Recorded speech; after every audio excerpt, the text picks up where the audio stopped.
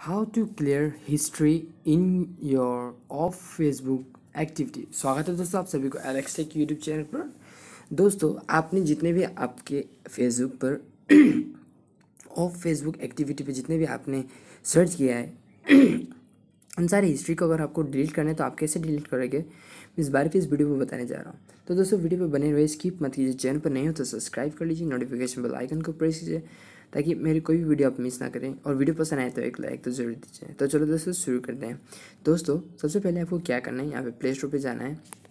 उसके बाद यहाँ पे सर्च बार पे आपको फेसबुक को सर्च कर लेने कर लेना है, जैसे कि मैंने पहले ही कर चुका है। यहाँ पे अगर अपडेट का ऑप्शन आए तो अपडेट कर लेना है आपको। उसके बाद बैक आना है बैक आना है। उसके बाद यहाँ पे फेसबुक ओपन कर लीजिए अपडेट करने के बाद। यहाँ पे थ्री आपको राइट हैंड साइड पे स्क्रीन पर थ्री लाइन है, इसको टैप कर लेना है। उसके बाद स्क्रॉल डाउन करना है दोस्तों। उसके बाद सेटिंग्स एंड प्राइवेसी पे चले जाना है। उसके बाद यहाँ पे सेटिंग्स पे आना है दोस्तों।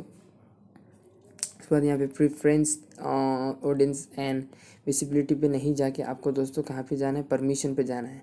ऑफ़ फेसबुक एक्टिविटी आपको यहाँ पे शो कर रहा है। आपकी स्क्रीन पर इसको टैप कर लेना है।